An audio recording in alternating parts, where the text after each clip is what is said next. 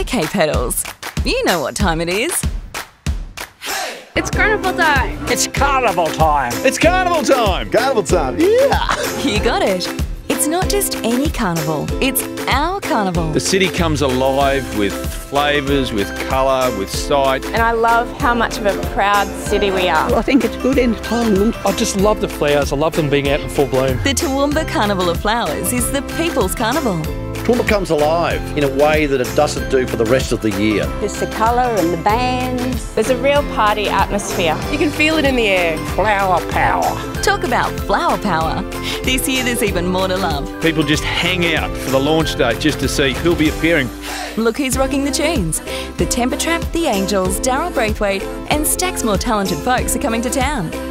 What else is on the menu? The food and wine are flowing. We really love the Sunday night at the Food and Wine Festival. We go around and pretty much try every single spot.